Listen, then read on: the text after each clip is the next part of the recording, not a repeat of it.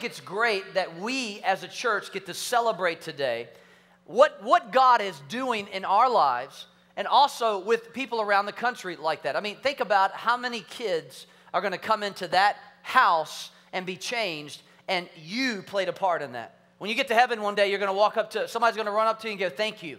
Thank you. Thank you very much. Thank you for what you did. Thank you for how much you gave on Liberty Sunday. I'm a result of that giving. Because when we give, we lay up treasures in heaven. Today, I want to talk about how big God is. Come on, somebody say big. Now, I need you to participate today. I know it's a little rainy outside, but you can do it. Hit your neighbor, say big. I want to talk about how big God is right now. I want, you, I, I, want, to, I want us to look beyond our circumstances, beyond our, our, our challenges, beyond our obstacles, to really abandon smallness and adopt a big God because He's big, He's huge. Matter of fact, as I was preparing for this, I remember that song when I was a kid I learned, and I want you to help me sing it. He's got the whole world in His hand. Come on, sing it with me. Got the whole. You can do it. Why are you singing so quiet? In his hands, he's got. Remember the hand movements? You got the itty bitty babies. Itty bitty babies.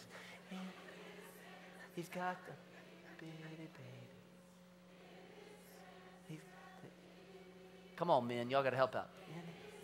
He's got the whole world in it. One more time. He's got you and me, brother. You, you and me, brother. He's got you and me, sister. He's got you and me, brother. He's got the. Come on, give yourselves a hand. Y'all sounded so good. Y'all sound like a choir. I know y'all a little. Do we really sing that in church? Absolutely. He's got the whole world. Let me ask you a question Does he have your world in his hands? Because I think that's an impertinent question. Yeah, we might be able to say, you know, God is doing this in their life. This is He's doing this in their life, and, and I see him moving over here. But let me ask you, how big is your God? How big is your God? How, have you shrunk him down to the size of your circumstances? Have you brought him down to the size of your experiences? Because God's way bigger than that. And I, want to I wanna show you today how big God wants to be in your life. I, I believe today is a day where you can walk out of this room and recognize how big God wants to be. We serve a big God. He's got a big vision for you. He's got a big plan for your family. He's got a big plan and purpose for your, for your marriage. He's got big plans for your kids. He's got a big vision for Freedom House Church. He's a big God. Somebody shout big. I want you to get this today because we got to walk out of here knowing no matter what, God is big. He's got the whole world in his hands. Let me prove to you how big he is. Hebrews chapter 11, verse 3, it says, By faith, we understand that the entire universe was formed by his words. Now, when you think about the universe, it, that means big. But let me just give you an idea of how big our universe is. The earth, this third rock from the sun that you and I live on, we're here today, we're living on the earth is 196.8 million square miles. That's how big it is. You can look at there on the screen. Of that, 70% of it is water. That means 139,500, 139.5 million square miles is water. The Earth is, is one of nine planets revolving around the sun. We're just going back to, uh, what is it? Astronomy class. The sun, let me just tell you about the sun for a second. Don't look at it directly, but the sun is the closest star to the earth. It's 93 million miles away. 93 million miles. It takes eight minutes for a beam of light to go from the sun to your pretty face, to light you up. If you, the, the sun is 865,000 miles in diameter. That's, 100, uh, that's 109 times bigger than the earth. If the sun were a hollow ball, you could fit 1.3 million earths inside of the sun. Come on, somebody say big. big. I, I, want, I want you to see how big God is. So, so check this out. The sun is an average star in our, in our galaxy. Let's talk about our galaxy. What's it named? Snickers. No, it's named Milky Way. The Milky Way galaxy. It, it's, it, uh, we, we found, discovered, just discovered just in our galaxy, almost 400 billion stars. 400 billion stars. The sun is just one star. It's the closest one, 93 million miles away. We, we have discovered close to uh, 400 billion. If you were to try to count all the stars in our galaxy, it would take you 2,500 years to do. I know we've all tried it. We've looked up in the sky one, two, 14. Oh, I missed that. Let me start over again. One, you know what I'm talking about? We've all tried to count those in, in the middle of the day. Uh, here's the thing about the if you if you took our discovered galaxy, it is the size of a quarter in comparison to North, North America. That's how big our galaxy is. Now, there's one star that we've discovered, the largest star that we've ever discovered. It's called VY Canis Majoris. It's the biggest star we've ever discovered. Let me just give you a little perspective on how big it is. The, remember, the sun was 865,000 square miles, uh, 865,000 miles in diameter. This is 1.9 billion miles in diameter. If you were to take that same star, Canis Majoris, and you were to put it in our solar system, it would reach to Saturn. That's how big that star is. How many would, you, would believe that, that God's big? Let me, let me prove it to you. Let me pr- just prove it to you. Here's what the Bible says about how big God is. It says that in, in, Isaiah 40, verse 12, it says, Who has, talking about God, who has measured the waters in the palm of his hand? It says that not only does it say that, it says he's measured with the span of his hand the, the heavens, or another translation says the universe. That's how big your God is. The only way to, to really accept and experience all the bigness of how God is is to abandon smallness. We've got to get away from thinking that our lives are small and insignificant to God. God's got a big plan for you. Hit your neighbor say big. Let me just let me just read this verse to you in 2 Corinthians chapter 6 and then we'll turn to a scripture here in a second. Verse 11 through 13 in the message. Paul's talking to the Corinthian church. I believe he's saying this today to Freedom House Church today. He says, "I can't tell you how much I long for you to enter this wide open, spacious life. We didn't fence you in. The smallness you feel comes from within. Your lives aren't small, but you're living them in a small way. I'm, I'm speaking plainly to you as I can with great affection. Open up your lives, live openly and expansively. In other words, what Paul is telling us is God is big, it's time for you to live big. Everybody say big. big. There's one guy in the Bible that jumps out at me when I think about really establishing how big God is and recognizing how big. It's King David. King David was one of the greatest kings that ever lived. He was a king of Israel in a very difficult time, coming out of a very tough uh, kingship from, from Saul, who was a terrible king. He came into rule as a 17 year old boy.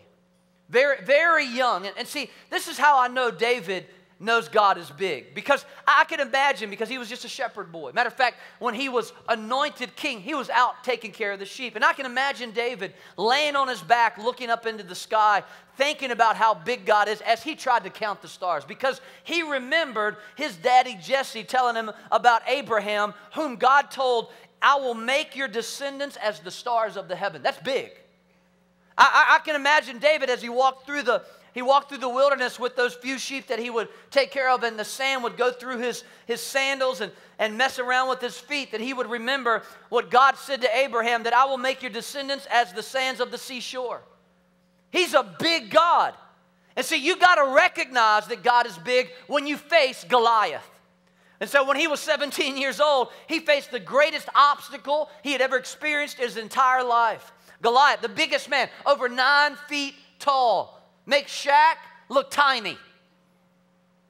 Big old boy standing out in the middle of a field. You know your God is big when you can stand there with a, a, a, a pocket full of rocks, a slingshot, and say, I'm going to take you down because you know how big your God is. And I think this is, this is where we need to catch this today because some of you are facing your own Goliath bankruptcy. You're facing your own Goliath, messed up family. You're facing up your own Goliath, separation. You're facing your own Goliath, runaway kid. You're facing your own Goliath. And if you can catch a hold of how big God is, you can stand there before Him and say, I will take you down.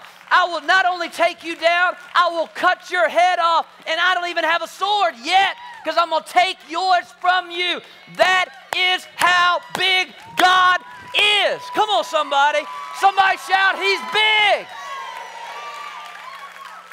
You're going to get this today. I'm telling you. Turn over to 1 Chronicles chapter 28 and 29. 1 Chronicles 28, 29. Hit your neighbor say, He's big. Hit your other neighbor say, He's big. 1 Chronicles 28, David is given a vision to build God a house. He's at the end of his life. He's defeated a lot of enemies. He's done a lot of damage for God. He's, he's, he's, as Israel's king, he has led them very successfully. Yes, he made some mistakes, but he knows that God has something special inside of him. He knows that there's something big that he wants to do through his life. He has a dream that he wants to build God a house, but God says, Listen, I understand. I'm the one that put that dream inside of you, but because there's been so much war in your family, I want your son to do it. David said, That's fine, no problem. I'll tell him what, what you want me to do. And three things jump out at me in 1 Chronicles 28 and 1 Chronicles 29. Three things jump out at me about David when it comes to big. First of all, he understood that God gave him a big vision. Everybody say big vision. Not only that, he was set out to give a big give. Everybody say big give. Because he knew that people needed to live a big life. Everybody say big life. So, so David had a big vision, he gave a big give, and he lived a big life. And he wanted the rest of Israel to experience the bigness of how God is and who he is and everything that he had. And so he said to his son in 1 Chronicles chapter 11, chapter 28, verse 11, listen to this vision. Because God's given you a big vision. And I believe this. To look at me for a second. I believe that God's going to stir up that vision today because I feel like some of you have, have kind of capped it off and compartmentalized and said it ain't going to come to pass. I'm going to tell you, God's got a plan for you. God's got a big vision to you. And today it's going to get unlocked. Today it's going to get opened up so you can live that dream out, live that vision out. Why? Because you're going to do something outside of the ordinary that you've never done before. You're going to sacrifice on, the, for, on, on, on behalf of that vision. Some of you came with a certain amount that you wanted to give the liberty offering, and God's going to say, You need to go big.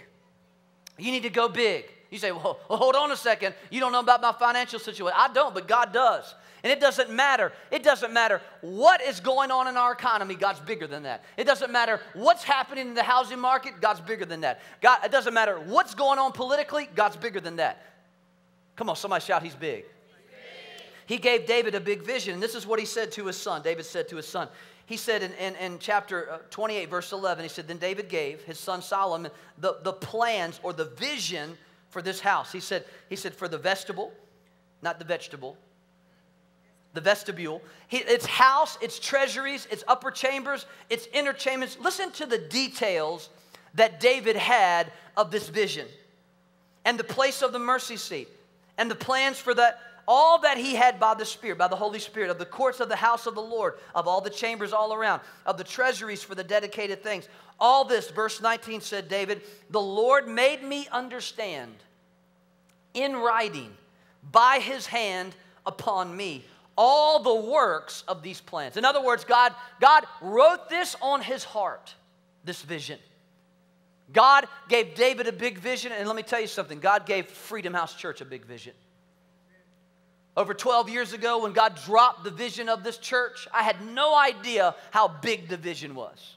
God said, I want you to go to Charlotte. To do what? Plant a church. I had no idea what that looked like. But he began to etch into my heart and my wife's heart and a few people as, as we began to set out to fulfill this vision, the details. We prayed for six months before we started this church, and we wrote out exactly what was going to happen. And, and I'm going to tell you, to the T, 10 years ago, when we, when we began that journey, God has honored every single one of those prayers. We're going to celebrate 10 years in September. You talk about a party. Come on, we going to have ourselves a party. It begins today. As we, as we enter, exit one phase of this church and enter a brand new beginning for this church. And it starts with you and I. I want you to look at the screens for a second because we've got a few pictures, just a couple glimpses of what we accomplished over the la- what we accomplished over the last 10 years. Check these out on the side here. Scars and struggles on the way, but with joy our hearts can say, Never once did we ever walk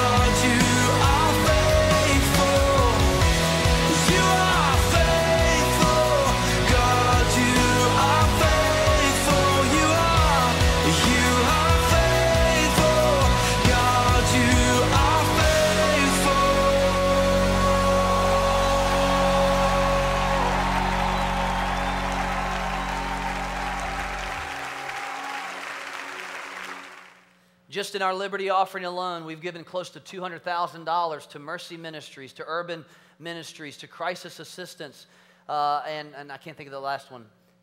Can't, can you remember the last one? No. We, we, we've, been, we've given well over a million dollars as a church to globally and locally to help people. I mean, it's amazing.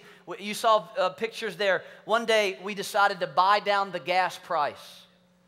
And we had hundreds of people come through line amazed that a church would buy down the gas price by 30 or 40 cents. I can't even remember. We, we gathered at, with Unite Charlotte over a thousand people in one venue, 40 churches represented from around the area to pray and worship for our city.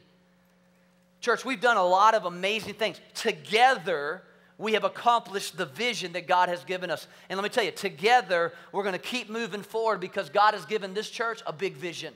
And a big vision, let me tell you something, a big vision takes big dollars. So I don't want you to get nervous. Lots of money is going to start flowing through your life for the sake of this big vision. But also, you got to understand big vision means big adversity. Big adversity. Whenever you got a big dream, you can always tell the size of it by the amount of devils that try to knock you down. And I'm going to tell you something over the last year and a half, as we began to build this building, we have faced just about every single one of them at least twice. And so I know this vision is big. I know that God has something really big because the devil is mad every time we get up and have church on Sunday morning. Every time you wake up and enter your prayer closet and begin to pray for the future of this ministry, God is going to continue to use that and bless this ministry and bless you. He not only had a, he had a big vision, but he had a big give. And you know what David did? He led the way in his giving. He was a leader to the point where his generosity really displayed what he was as a leader. And I'm calling every single person in this church today a leader.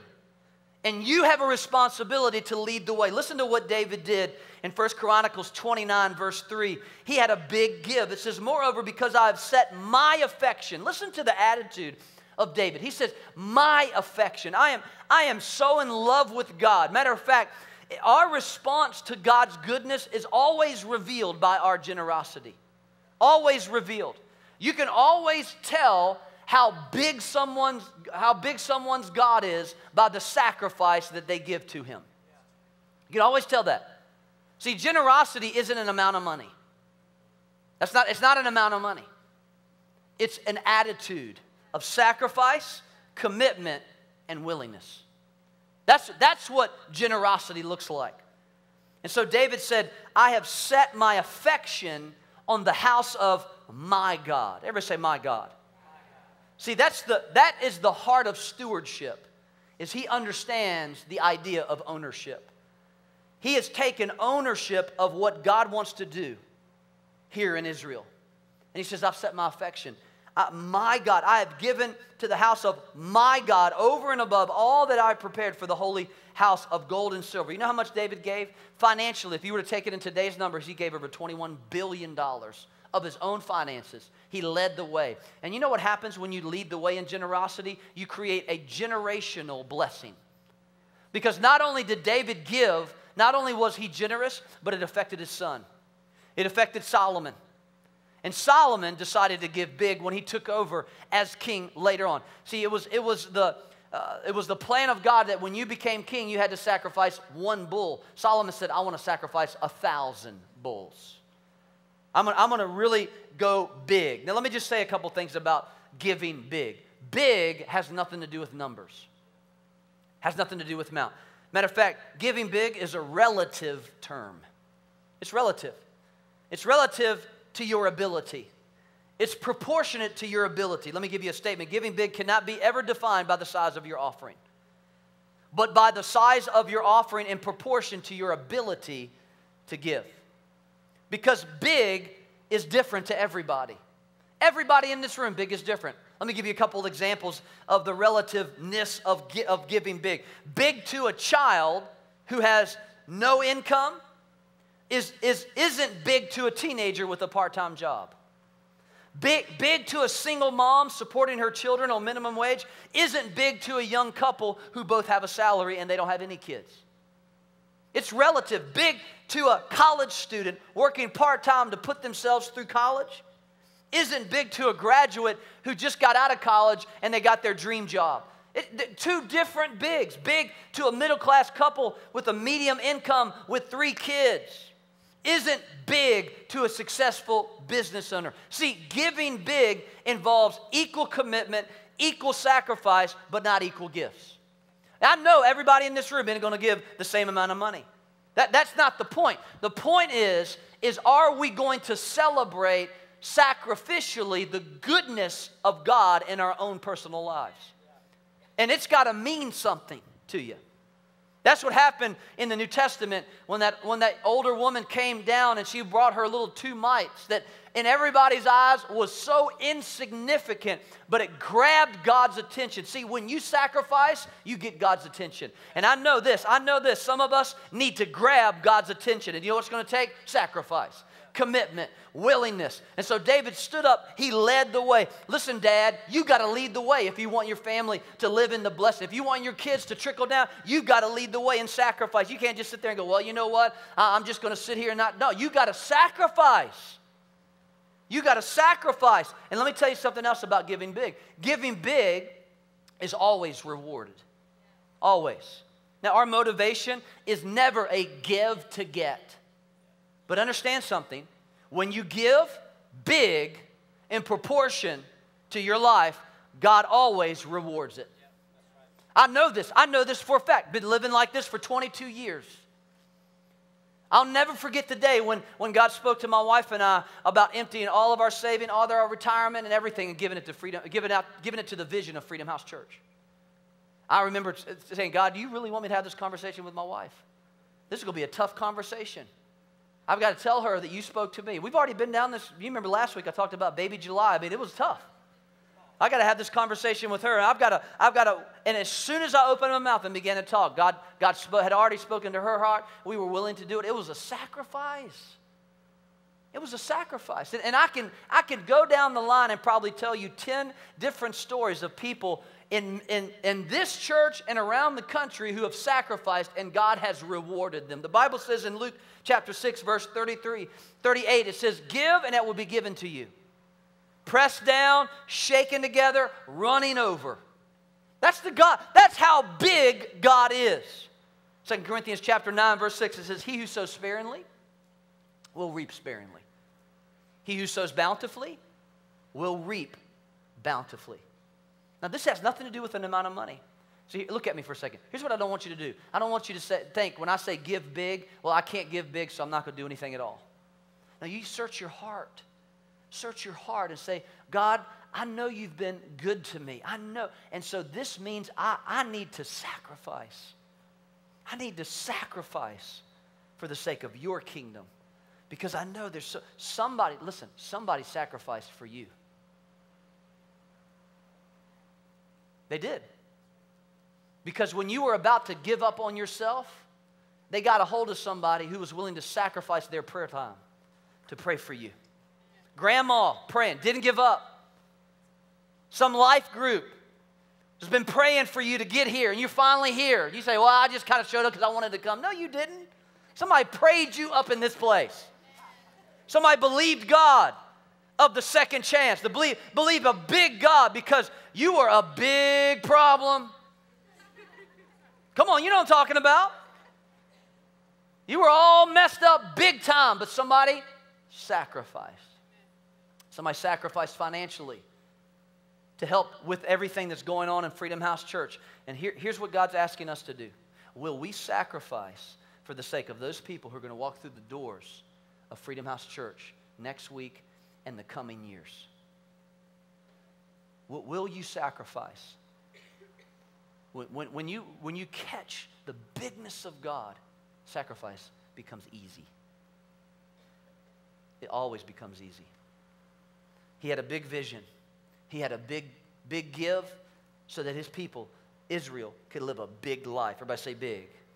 2 Corinthians 6:12. I mentioned this earlier in that verse. It says, the smallness you feel comes from within. Your lives aren't small, but you're living them in a small way. What does that mean? What does that mean? In other words, what he's saying, what Paul is saying right here, is that small mindedness is what causes people to stay small. Live, thinking small, not, not really expanding above what, where they are right now. They, you will never enter into a big life by thinking small. Your business will never be a multi million dollar business until you think big. First of all, you got to believe in yourself. Believe God has destined you for that. See, small minded thinking divides itself out in three different ways. Just write these down really quickly. First of all, small mindedness is petty thinking. Churches, churches stay small all around the country. You know, the average size church in America is 137 people. 137 people. Why is the average size uh, uh, of a country that is tremendously blessed like America 137 people? Because they get caught up in petty arguments and petty accusations. Well, I think the carpet should have been this color. Well, here's a good thing we don't have any carpet in there. It's all, it's all concrete floors. Well, I, that's a petty argument. They get caught up in, in petty accusation. Well, you're not going to believe what she said when I came in the door and how she looked at me. And, and, and he didn't shake my hand. And oh my goodness, look at that music. And, petty, petty, petty. That's small minded. And guess what? You'll stay small. The only way to break out of and live in a big life is to let go of those petty things. Well, you don't, you don't know, Pastor. When I walked in the door and I checked my kids in, she had, she had a frown on her face. You have no idea what she's going through. Have no idea. How about instead of getting caught up in all that, you get caught up in praying for somebody who's not coming right now? get caught up in believing God for somebody's marriage, believing God for somebody's family, believing God for somebody's, for somebody's relationship with, with the Lord instead of worrying about whether the lights were too bright or too. Just, just put some sunglasses on petty thinking. Small mindedness is poverty thinking. Poverty thinking. You know what poverty thinking is? Is thinking constant lack. Positioning yourself for, based on uh, positioning yourself that there's not enough. Let me tell you what my God's name is more than enough. Will you adopt that name for your, for your God? Will you adopt the, the, and, and, accept the fact that God's big enough to go way beyond our thinking? Poverty thinking. I grew up po, P O, couldn't afford the O R, poor, po. And so here's the deal. Here's the deal. I had to, God had to break me out of that mindset of don't touch my stuff. I'm not going to have enough. Or, or, you know, don't, oh, these are my fries. It's not like McDonald's doesn't make, can't make another batch of fries. But these are mine. And see, that's, that will keep you small when you realize that that's all I got. See, the reality comes into thinking big life is when you know God has it all. It's all His anyway. And if it's all His, I can give it away really easy and He'll replace it with even more. Let me tell you, God's not a God of addition, He's a God of multiplication.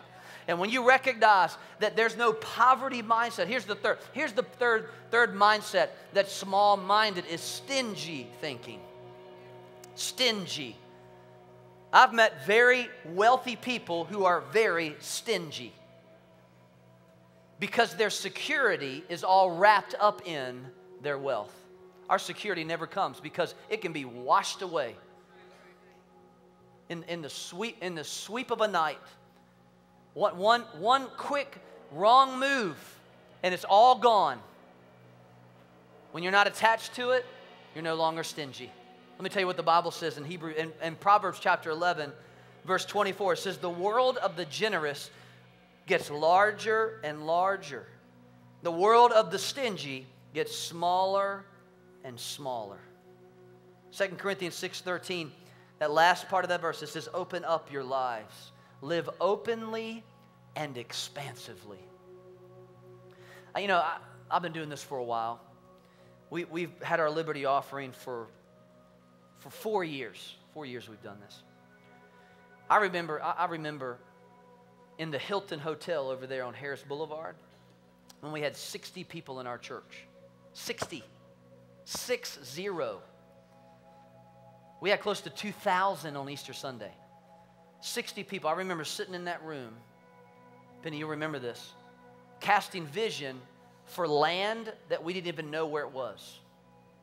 We had no idea where, where uh, it, was, it was just, and, and, I remember sitting in that room. Pastor Dennis had come down, and, and our pastor, our, our leadership came down and, and shared vision and shared, and we sat up there and we believed God. And we began right there with 60 people giving an offering, which in, the context of what we do on a weekend now is so, it, it seems so insignificant, but at that moment was big.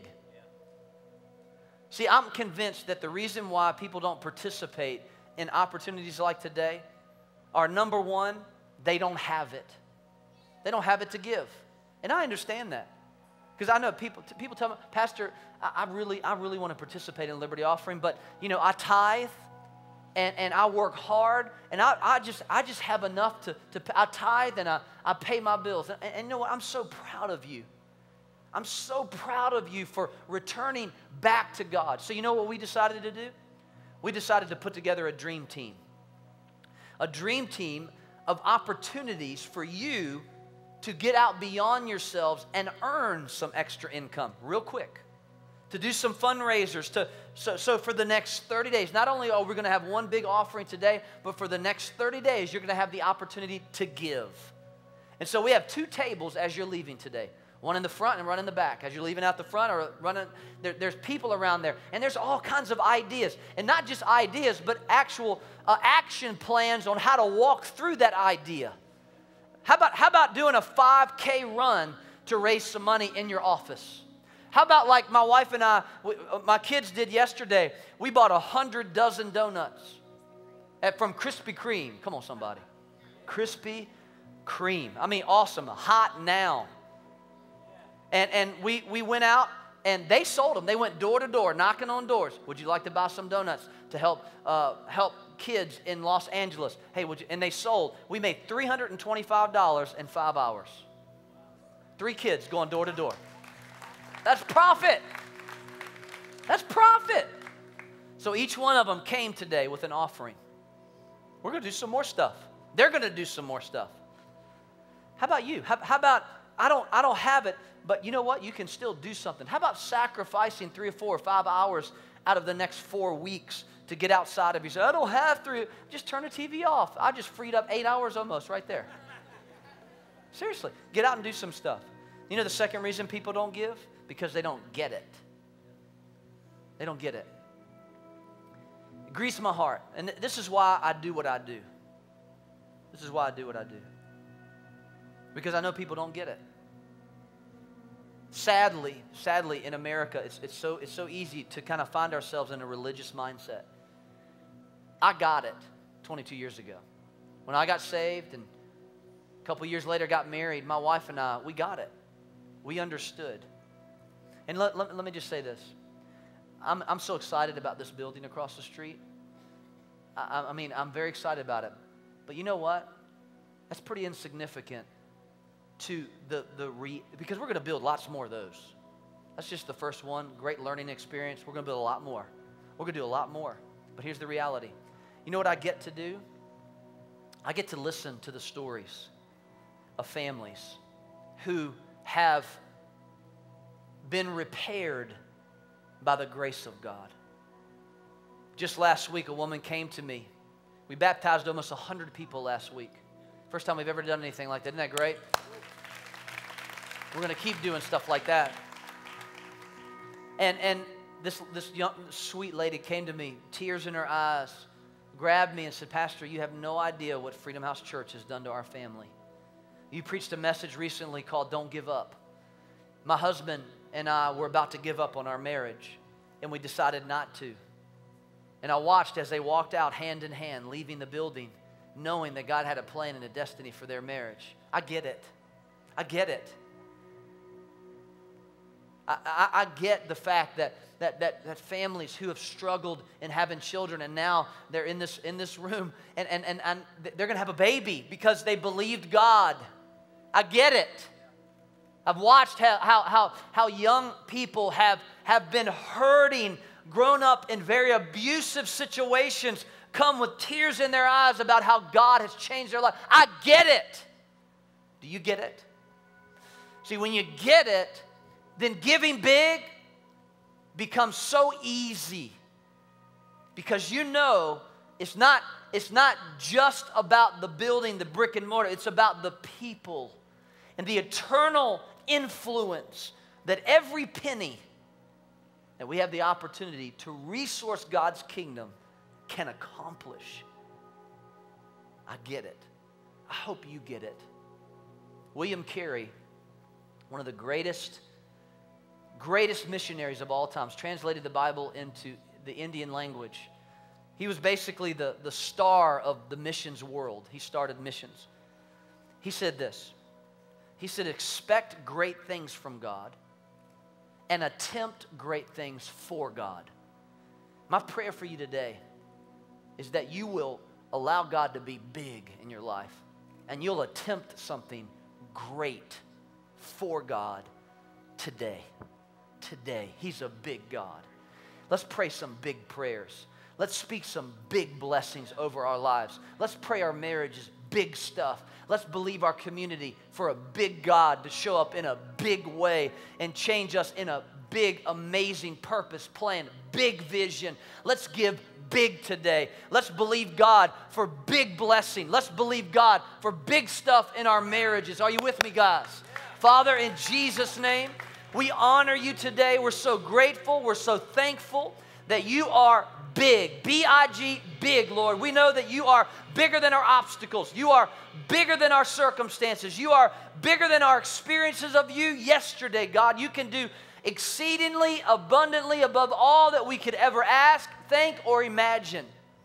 Father, I pray for every person in this room that they would determine in their heart to be generous God, that they would determine in their heart to sacrifice for those that are coming, to recognize that there's bigness that we want that God wants to do through each one of us. Father, thank you. Thank you for this opportunity. Father, thank you that we get it. Thank you, God, that, that our hearts are being grown. Our, God, thank you that we can begin to see our perspective of you is big. Father, thank you that we can dream, that you've given us a vision. And God, we get to resource it today. We get to celebrate. We get to maintain this house. We get to, we get to sow in the vision for this house. In Jesus' name. In Jesus' name. And everybody said, Amen.